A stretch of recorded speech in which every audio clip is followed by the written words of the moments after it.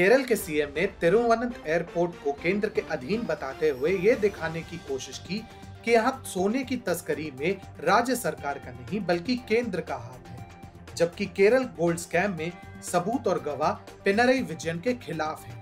TFI पर आपका स्वागत है और मैं अनिमेश पांडे आपको बताने जा रहा हूँ कि कैसे केरल के मुख्यमंत्री ने विधानसभा चुनाव में खुद की साख बचाने के लिए अपनी करनी का ठीकरा केंद्र सरकार पर फोड़ने का प्रयास किया है। अपने मोटा भाई यानी अमित शाह इस समय फुल फॉर्म में है। केरल के हाल ही में संपन्न दौरे में उन्होंने सत्ताधारी कम्युनिस्ट सरकार और कम्युनिस्ट पार्टी के पिनरई विजयन की कलाई खोल दी। सबरीमाला हो, सोने की तस्करी हो या फिर राजनीतिक हिंसा, अमित शाह ने केरल सरकार को कहीं का नहीं छोड़ा। अब अमित शाह के तेवर से कॉमरेड विजन इतना सक पका गए हैं कि वे अपने आप को बचाने के लिए ऊट पटांग दलीलें दे रहे हैं। अमित शाह हाल ही में केरल के दौरे पर आए थे। शंगु मुगहम में बीजेपी की केरल विजय यात्रा के समापन समारोह में गृह मंत्री अमित शाह ने हिस्सा लिया और इस दौरान मेट्रोमैन ई श्रीधरन भी मौजूद रहे। जनता को संबोधित करते हुए अमित शाह ने कहा, यह केरल एक जमाने में विकास के लिए जाना जाता था। केरल निरक्षरता को सबसे पहले परास्त करने वाला राज्य था।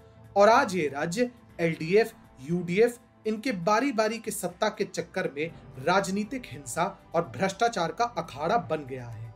लेकिन अमित शाह यहीं पर नहीं रुके। उन्होंने आगे कहा, एलडीएफ और यूडीएफ के बीच एक हेल्दी कंपटीशन चल रहा है।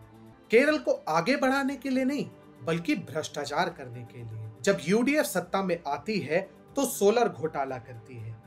और जब एलडीएफ सत्ता में आती है तो वह डॉलर घोटाला करती है। ये दोनों ही घोटाले करने की स्पर्धा में लगे हुए हैं।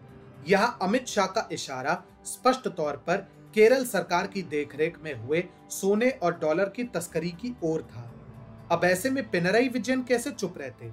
उन्होंने कहा तिरुवनंतपुरम एयरपोर्ट तो पूरी तरह से केंद्र सरकार के अधीन है। भाजपा की सत्ता में आते ही वह सोने की तस्करी का अड्डा कैसे है? इसके लिए गृह मंत्री जवाब दे हैं मैं नहीं। मस्त जोक मारा रे। ये हंस रे हलकट हंस। कमाल है भाई। दूत ने बुरा समाचार दिया तो उसी के हाथ काट दिए जाएँगे। शायद विजयन इसी मानसिकता से जीते हैं तभी वे सोने की तस्करी को उजागर करने वाले केंद्रीय प्रशासन को इस पूरे प्रकरण के लिए दोषी ठहराने का बचकाना प्रयास कर रहे हैं। स्पष्ट है कि वो केरल के विधानसभा चुनाव से पहले सोने की तस्करी के मामले से खुद का दामन साफ़ करने की कोशिश कर रहे हैं, परंतु सच्चाई से भला कौन ही बच पाया है? तिरुवनंतपुरम एयरपोर्ट पर कस्टम्स विभाग के अफसरों ने 30 किलो सोना जब्त किया था, जो डिप्लोमेटिक इम्यूनिटी का फ़ायदा उठाते हुए यूएई ले जाया जा रहा था। जाँच पड़ताल में यूएई कॉन्सुलेट जनरल के यहाँ पूर्व पब्लिक रिलेशंस ऑफिसर रह चुके सरित कुमार और पूर्व कॉन्सुलेट अधिकारी स्वप्ना सुरेश का नाम आया था। लेकिन सोने की तस्करी अकेले तिरुवनंत एयरपोर्ट से ही नहीं, बल्कि कोची एयरपोर्ट से भी होती थी, जिसके बारे में एनआईए के पास पुख्ता सबूत हैं और इसके साथ ही इस घोटाले में शामिल स्वप्ना सुरेश ने भी ये स्वीकारा है कि ये पूरा घोटाला सीएम की देखरेख में हुआ था और यूएई के कॉन्सुलेट से उनकी बराबर बातचीत होती थी। कस्टम्स विभाग द्वारा की गई पूछताछ में स्वप्ना ने उजागर किया कि विजयन के साथ तीन अन्य कैबिनेट मंत्री भी इस पूरे प्रकरण में शामिल थे, जिनमें केरल के विधानसभा अध्यक्ष पी श्री रामकृष्णन भी शामिल हैं।